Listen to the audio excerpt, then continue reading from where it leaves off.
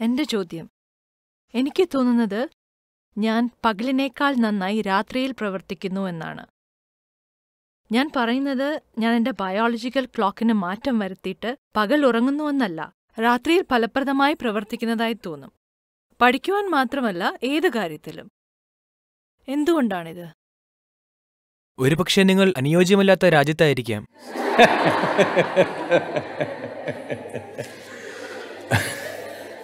രാത്രിയിൽ ഉറങ്ങാത്തവരായി. മൂന്ന് തരത്തിലുള്ള ആളുകളുണ്ട്. ഒരു രോഗി രാത്രിയിൽ ഉറങ്ങുന്നില്ല. രോഗി എന്നാൽ അസുഖമുള്ള വ്യക്തി. കാരണം അയാൾക്ക് ഉറങ്ങാൻ കഴിയില്ല. ഒരു ഭോഗി രാത്രിയിൽ ഉറങ്ങുന്നില്ല. ഒരു സുഖാന്വേഷി രാത്രിയിൽ ഉറങ്ങുന്നില്ല. കാരണം അത്തരം കാര്യങ്ങൾക്കായി രാത്രി അയാൾക്ക് പ്രയോജനപ്പെടുന്നു. ഒരു യോഗിയും രാത്രിയിൽ ഉറങ്ങുന്നില്ല. കാരണം അയാൾക്കും രാത്രി വളരെ പ്രയോജനപ്പെടുന്നു. നിങ്ങളാരാണെന്നുള്ളത് നിങ്ങൾക്ക് തീരുമാനിക്കാം. ഇതിനെപ്പറ്റി ഞാനൊന്നും പറയുന്നില്ല. എന്തുകൊണ്ട് രാത്രി എന്നത്? നോക്കൂ വെളിച്ചം നമ്മൾ വെളിച്ചത്തെ വിലമതിക്കുന്നു. കാരണം നമ്മുടെ കാഴ്ച നിർമ്മിച്ചിരിക്കുന്നത് ഒരു പ്രത്യേക തരത്തിലാണ്. വെളിച്ചം നിങ്ങൾക്ക് ചെയ്യുന്നത് അതെല്ലാത്തിനെയും വ്യക്തമാക്കുന്നു. നോക്കൂ ഇപ്പോൾ വെളിച്ചമുള്ളതിനാൽ എനിക്ക് ഈ വ്യക്തിയെ കാണാം ഈ വ്യക്തിയെ കാണാം ഇവരെ എല്ലാം കാണാം.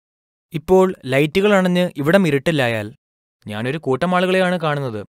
എനിക്ക് ഈ ഓരോരുത്തരെയും കാണാൻ കഴിയില്ല. അതുകൊണ്ട് അതിരില്ലായ്മയുടെ ഒരു പ്രത്യേക ബോധം രാത്രിയിൽ അനുഭവപ്പെടുന്നു. അതുകൊണ്ട് യോഗയ്ക്കും ലൈംഗികതയ്ക്കും സൗഹൃദത്തിനും ഒരുമിച്ചിരിക്കുന്നതിനും പഠനത്തിനും ശ്രദ്ധ കേന്ദ്രീകരിക്കുന്നതിനും ഇവയെല്ലാത്തിനും രാത്രി കൂടുതൽ യോജിച്ചതായി തോന്നുന്നു. കാരണം നിങ്ങളും മറ്റൊരാളും തമ്മിലുള്ള ഈ വ്യത്യാസം ഇല്ലാതാകുന്നത് രാത്രിയിലാണ്. കാരണം നമ്മുടെ കാഴ്ച സംവിധാനം പ്രവർത്തിക്കുന്നത് ഈ വിധത്തിലാണ്. വെളിച്ചമില്ലാത്തയിടത്ത് എല്ലാം ലയിക്കുന്നതായി നമുക്ക് തോന്നുന്നു. സോ ആ yogi a bogie and a rogi all three of them make use of the night അതുകൊണ്ട് ഒരു യോഗിയും ഒരു ഭോഗിയും ഒരു രോഗിയും ഇവർ മൂന്നുപേരും രാത്രിയെ ഉപയോഗിക്കുന്നു. നിങ്ങൾക്കും ഇതിനെ ഉപയോഗിക്കാം. ഒരു കുഴപ്പവുമില്ല. നിങ്ങൾ ക്ലാസ് മുറിയിൽ ഉറങ്ങുകയില്ലെങ്കിൽ മാത്രം. നിങ്ങൾ ക്ലാസ് മുറിയിൽ ഉറങ്ങുകയില്ലെങ്കിൽ അത് നല്ലതായിരിക്കും. അതിലൊരു തെറ്റുമില്ല. എന്നാൽ നിങ്ങൾക്ക് മനസ്സിലാകും നിങ്ങളിത് ശ്രമിച്ചു നോക്കൂ. ഞാനൊരു കാര്യം പറയട്ടെ? ഞാൻ ഇങ്ങനെയായിരുന്നു. ഞാൻ ഉറങ്ങുകയാണെങ്കിൽ രാവിലെ സാധാരണയായി എന്റെ ക്ലാസ് തുടങ്ങുന്നത് എട്ട് മുപ്പതിനായിരുന്നു. ആറേ മുക്കാൽ മുതൽ എന്റെ അമ്മയും സഹോദരിമാരും എന്നെ ഉണർത്താൻ തുടങ്ങും. ഇത് ശ്രമങ്ങളുടെ ഒരു പരമ്പരയാണ്.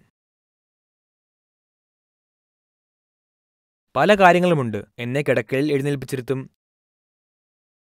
എന്റെ കൈ പിടിച്ചു തിരിക്കും അതും ഇതുമെല്ലാം ചെയ്യും. അമ്മ ഇത് സൗമ്യമായി ചെയ്യും. സഹോദരിമാർ ഇങ്ങനെ ചെയ്യും. അപ്പോഴും ഞാൻ അതിനുശേഷം വലിച്ചിഴയ്ക്കും. പിന്നെ അമ്മ ബ്രഷിൽ പേസ്റ്റ് തേച്ചിട്ട് അതെനിക്ക് തരും. ഞാനത് വായിൽ തിരുകിയിട്ട് അവർ വസ്ത്രങ്ങൾ തന്നിട്ട് പറയും പോയി കുളിക്കൂ. സമയമായി സമയമായി. ഞാൻ കുളിമുറിയിൽ കയറി ഉറങ്ങാൻ തുടങ്ങും. ആരും ഉണർത്തിയില്ലെങ്കിൽ ഉച്ചതിരിഞ്ഞ് ഒരു മണി രണ്ടു മണി വരെ ഞാനൊരു പാറ പോലെ കിടന്നുറങ്ങും. ഇടയ്ക്ക് എഴുന്നേൽക്കുകയൊന്നുമില്ല. ചത്തതുപോലെ കിടക്കും. എന്നാൽ പന്ത്രണ്ടാമത്തെ വയസ്സിൽ ഞാൻ യോഗ പരിശീലിക്കാൻ തുടങ്ങി. ഏകദേശം ഏഴ് മുതൽ ഒൻപത് മാസത്തിനു ശേഷം ഞാൻ എവിടെ ഇരുന്നാലും ഈ ദിവസം വരെ എവിടെയാണെങ്കിലും ഏത് ടൈം സോണിലാണെങ്കിലും ദിവസവും ഞാൻ ഓരോ ടൈം സോണിലാണ്. എന്നാൽ മൂന്ന് നാൽപ്പതൊക്കെ ആവുമ്പോഴേക്കും ഞാൻ ഉണരുമായിരുന്നു. കാരണം ചില മാറ്റങ്ങൾ പ്രകൃതിയിൽ സംഭവിക്കുന്നു. ആ സമയത്ത് എന്റെ ശരീരം ഉണരുന്നു. എനിക്ക് വേണമെങ്കിൽ എഴുന്നേറ്റ് ഇഷ്ടമുള്ള എന്തും ചെയ്യാം. ഇല്ലെങ്കിൽ എനിക്ക് കുറച്ചുകൂടി ഉറങ്ങാം. എന്നാൽ ശരീരം എല്ലായ്പ്പോഴും ഉണരുന്നു.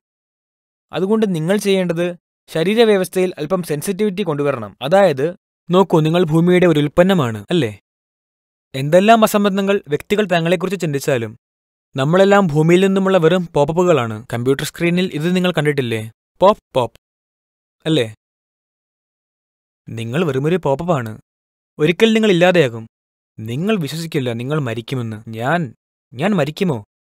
എല്ലാ വളരെ സമർത്ഥരായ ആളുകളും എണ്ണമറ്റ ആളുകൾ ഈ ഭൂമിയിൽ നടന്നിട്ടുള്ളവർ എനിക്കും നിങ്ങൾക്ക് മുമ്പേ ഉള്ളവർ എവിടെയാണ് അവരെല്ലാം? ഒരടയാളവുമില്ല. എല്ലാവരും മണ്ണായിരിക്കുന്നു. അല്ലേ? അവരെല്ലാം ഒരു പോപ്പല്ലേ നിങ്ങളും അങ്ങനെ തന്നെയല്ലേ? Pop pop.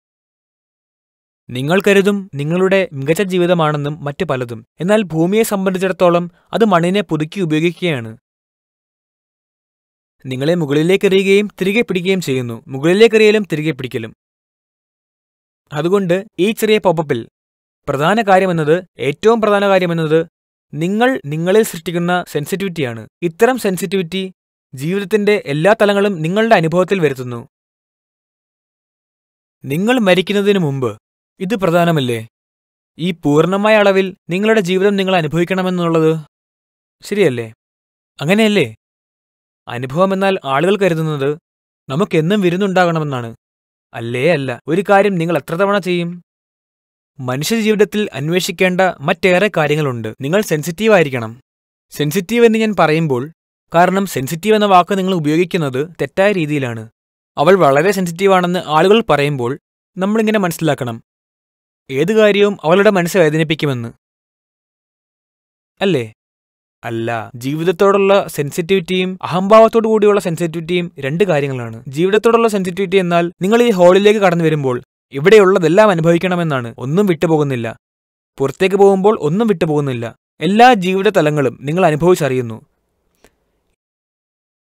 ഇത് സംഭവിച്ചു. ശങ്കരൻ പിള്ള ഒരു അയാളൊരു ഓ. അയാളൊരു കഴുതയെ വാങ്ങി. കഴുതയെ വിറ്റ മനുഷ്യൻ പറഞ്ഞു ഇത് വളരെ സെൻസിറ്റീവായ ഒരു കഴുതയാണ്. ഈ കഴുതയെ തല്ലരുത്. മോശം വാക്കുകൾ ഉപയോഗിക്കരുത്. ദ്രോഹിക്കരുത്. ശങ്കരൻപിള്ള പറഞ്ഞു അതുകൊള്ളാമല്ലോ എല്ലാ ദിവസവും ഞാൻ കഴുതുകളെ തല്ലി തളർന്നിരിക്കുകയാണ്. അവറ്റുകളെ ചലിപ്പിക്കാൻ ദിവസേന ദ്രോഹിക്കുന്നുമുണ്ട് ചീത്ത വാക്കുകൾ ഉപയോഗിക്കുന്നുമുണ്ട്. എനിക്ക് സെൻസിറ്റിവിറ്റിയുള്ള ആ കഴുതയെ വേണം. ആ കഴുതയുടെ സെൻസിറ്റിവിറ്റിക്ക് അയാൾ കൂടുതൽ പണം കൊടുത്തു.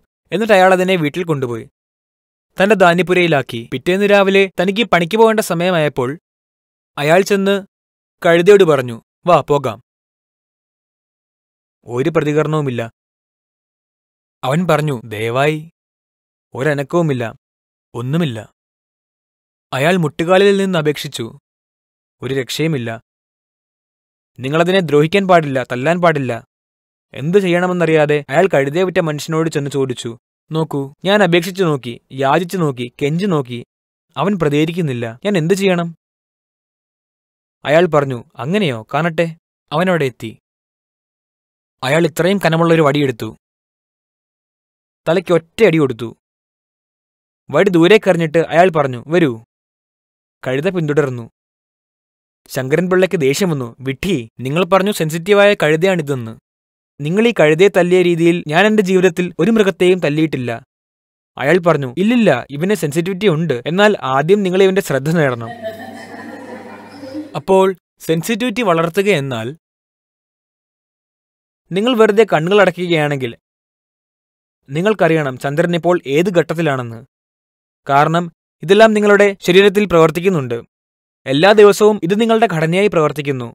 നോക്കൂ പൗർണമിയോ അമാവാസിയോ ആണെങ്കിൽ കടൽ മുഴുവനും അലയടിക്കാറില്ലേ? തിരമാല വ്യത്യസ്തമാവാറില്ലേ? നിങ്ങൾ കടൽ തീരത്ത് പോയിട്ടില്ലേ? അവിടെ തിരമാലകൾ ഉണ്ടാവാറുണ്ട് അല്ലേ? സമുദ്രം മുഴുവനും ഉയരാൻ ശ്രമിക്കുന്നു. നിങ്ങളുടെ ശരീരത്തിന്റെ എഴുപത്തിരണ്ട് ശതമാനവും വെള്ളമാണ്. ഒന്നും ഉയരുന്നില്ലെന്നാണോ നിങ്ങൾ കരുതുന്നത്? ഉണ്ട്. സൂര്യന്റെയും ചന്ദ്രന്റെയും മറ്റ് സ്ഥാനങ്ങൾക്കനുസരിച്ച് ഈ പ്രപഞ്ചത്തിന് സംഭവിക്കുന്നത് നിങ്ങൾക്കും സംഭവിക്കുന്നുണ്ട്. നിങ്ങൾക്ക് ജീവിതത്തോടുള്ള സെൻസിറ്റിവിറ്റി വേണം. അപ്പോൾ മനസ്സിലാകും ജീവിതത്തിന്റെ ഓരോ വശവും എങ്ങനെ കൈകാര്യം ചെയ്യണമെന്നത്. അഹംഭാവത്തോടുള്ള സെൻസിറ്റിവിറ്റി അരുത്. സമൂഹത്തോടും സെൻസിറ്റിവിറ്റി ഉണ്ടാകരുത്. ജീവിതത്തോട് സെൻസിറ്റിവിറ്റി പുലർത്തുക. ജീവിതത്തിൽ സംഭവിക്കാൻ പോകുന്ന ഈ ഒരു കാര്യം എപ്പോഴും മനസ്സിലാക്കുകയാണെങ്കിൽ നിങ്ങളുടെ ജി പി എസ് പ്രവർത്തിക്കുന്നുവെന്നാണ്. പിന്നൊരു പ്രശ്നവുമില്ല. നിങ്ങൾക്കൊരിക്കലും വഴുതിട്ടില്ല ആരെന്ത് പറഞ്ഞാലും കുഴപ്പമില്ല. നിങ്ങൾ ഏത് സാഹചര്യത്തിലും അകപ്പെടട്ടെ.